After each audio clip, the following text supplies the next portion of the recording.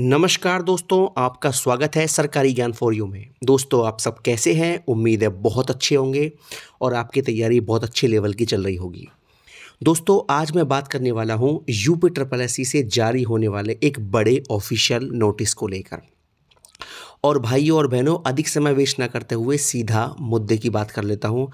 तो भैया, मुद्दा है जूनियर असिस्टेंट, पचपन पदों की शॉर्ट लिस्टिंग को लेकर। जी हाँ दोस्तों, जे ए पचपन सौ बारह वाली जो भर्ती है, इसकी शॉर्ट लिस्टिंग का नोटिस आपको बहुत जल्द देखने को मिलने वाला है।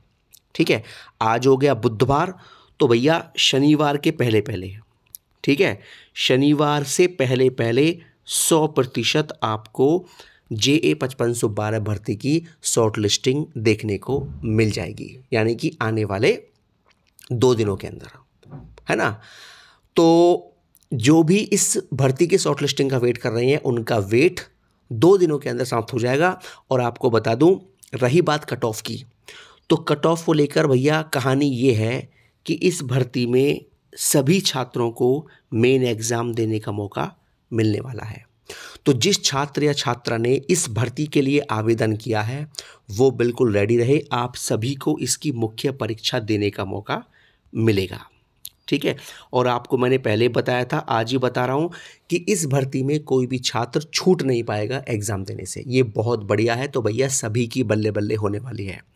और सरकारी नौकरी लेने का इससे बढ़िया मौका आपको मिलने वाला है नहीं।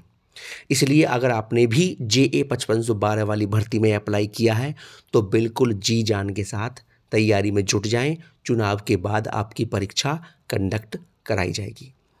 और बहुत ही कम इसमें मेन एग्ज़ाम के लिए कट ऑफ़ जाने वाला है। ठीक है दोस्तों? तो केवल और केवल दो दिनों के अंदर आपको इसकी शॉर्ट लिस्टिंग मिल जाएगी। बिल्कुल रेडी रहें। दोस्तों, ये हो गया आज का वीडियो और किसी भर्ती को लेकर। और कोई जानकारी मुझे मिलेगी, आपको सबसे पहले दे दी जाएगी। बहुत बहुत धन्यवाद दोस्तों। जय हिंद, जय भारत। हमेशा खुश रहिए और मुस्कुराते रहिए।